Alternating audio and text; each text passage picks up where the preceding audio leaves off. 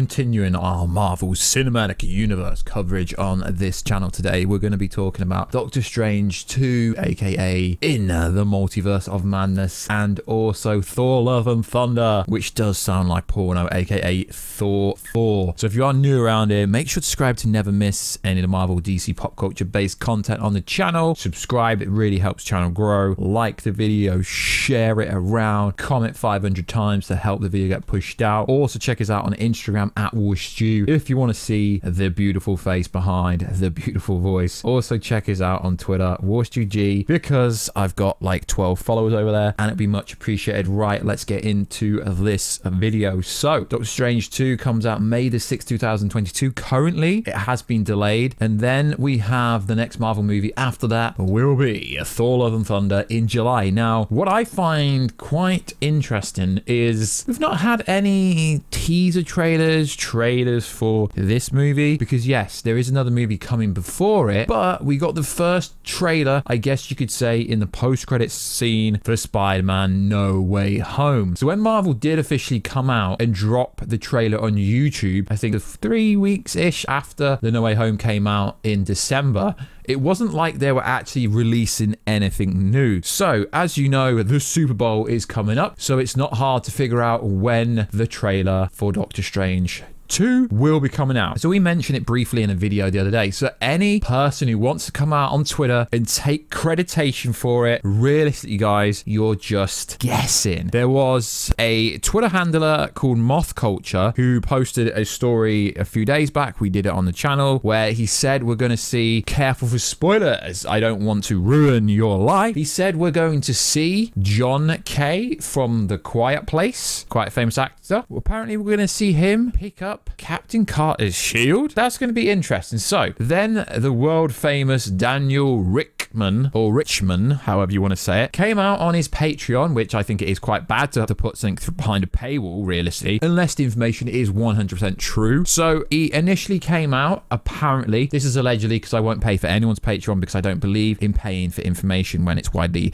available on the internet. Apparently, according to Daniel Rickman, there will be a trailer shown during the Super Bowl, but I actually know this is a lie and it's untrue because do you do you realize how expensive it is to drop a trailer at the Super Bowl per second? These trailers are very very expensive. Why do you think all the trailers at the Super Bowl are generally short? So this broke on his Patreon and then a little while later it actually was redacted and it come out and says Daniel RPK has since clarified on his Patreon that a spot will be released for Doctor Strange into the Multiverse of Madness. Not a trailer. The length and scope of the spot has not been revealed. Edit means spot, not trailer. My bad. So what this generally means is the information I said about a month ago when I said we're most likely going to get a TV spot or something during the Super Bowl for this movie. But now this is me just speculating, accumulating, and talking about things I've heard from behind the scenes. Is apparently there could be something for Thor: Love and Thunder. It would make sense. Now the general speculation between the Twitter scoopers, I guess you could say, because it's not going to be confirmed, is there could be something for Thor: Love and Thunder also at the Super Bowl. It would make sense, but a lot of people saying, but look how long it took Spider-Man No Way Home. They didn't drop the first trailer till three months out. Cool. I mean, in theory, they don't actually have to drop a trailer for Thor Love and Thunder till after or actually in the cinema at the same time with Doctor Strange 2. Like the standard marketing material for movies is generally six months out. So we're actually already overdue a trailer for the movie. Do we need a TV spot for Doctor Strange 2 at the Super Bowl? Not really. Everyone generally knows what the movie's about. I mean, with all the leaks and stuff out there, we already know what the movie's about. But of course, there will be multiple trailers and multiple TV spots for that. I'd be more interested in getting a TV spot for Thor Love and Thunder because we know absolutely freaking nothing about that movie, but realistically, we don't know nothing about Into the Multiverse of Madness outside of the first trailer and outside the ending of No Way Home when they were all coming through and he was trying to stop him and then the multiverse ripped open massively in a crazy way. But also, there is another report from Deadline that says we will be getting a Moon Knight trailer at the Super Bowl as well. As we know, Disney is one of the biggest Hollywood studios and it does like like to put a lot of trailers out during the Super Bowl. So I don't know the time scale of who woulda, coulda, shoulda said it first, but there is an article out there that says Disney possibly spots include Marvel's Doctor Strange into the Multiverse of Madness, May the 6th, Pixar, Lightyear, June the 17th, and another Disney Plus spot for Oscar Isaac's series Moon Knight, which debuts and premieres on Disney Plus on the 30th of March. But like I said, guys, we've already had ample trailers for Moon Knight. We've had the first official trailer. Seeing as Moon Knight is a series, I'm really looking forward to it. Could lead to the Midnight Suns potentially with Ghost Rider, with Blade, with Punisher in the future. But I personally feel for TV series, you don't really need many trailers, do you? Not really. But Disney did have a TV spot for the series Falcon and Winter Soldier, which drew an additional 30 million views on social media a day after the Super Bowl. So, for the price of getting your trailer at the Super Bowl, it would be worth it. So, in theory, we could be getting a TV spot for Doctor Strange into the Multiverse of Madness, but it's not really needed unless it's going to add anything to the narrative going forward, because at the moment they're misleading you, making out Gigantus is actually the villain when we all know it's Wanda Maximoff, aka Scarlet Witch. Moon Knight, we don't really need a trailer for it. Again, Pixar, Lightyear, we've already had we've already had trailers for all these. So realistically, from Marvel's point of view, they don't need any trailers. They're just putting the trailers or TV spots out for the sake of it. And in today's world, it's actually hard to figure out what a trailer is because the first trailer for Spider-Man No Way Home was two minutes long, and that was called a teaser trailer. For me, a trailer is anything over 30 seconds, but according to the internet, it's not actually a trailer a trailer unless it's officially dubbed as a trailer. So, also in the news. So, a movie I feel that would need promoting during the Super Bowl is Jared Leto's Morbius because no one really knows that it's coming out because it's been delayed like 25 times in the last two years. So, according to the internet at the moment and the information we can find on this,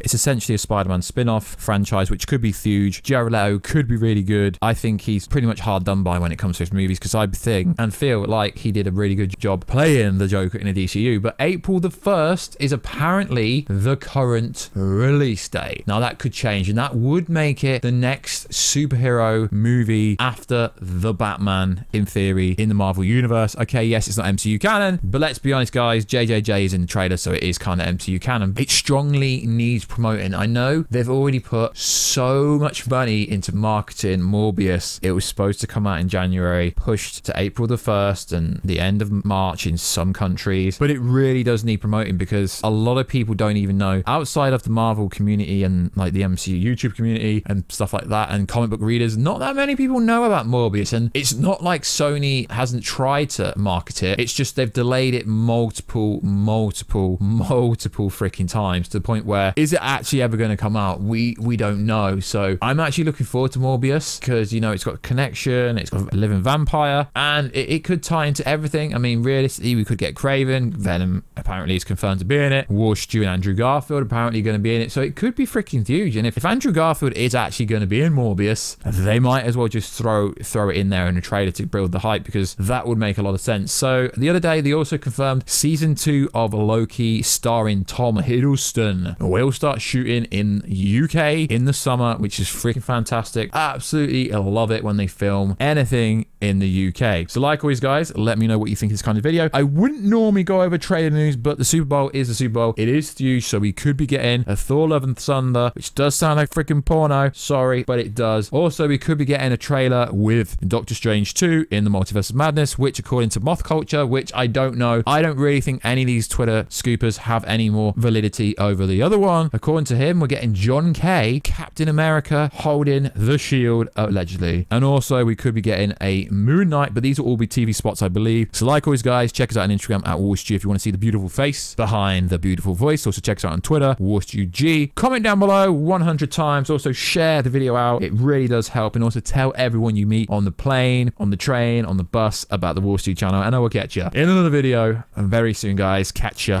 later.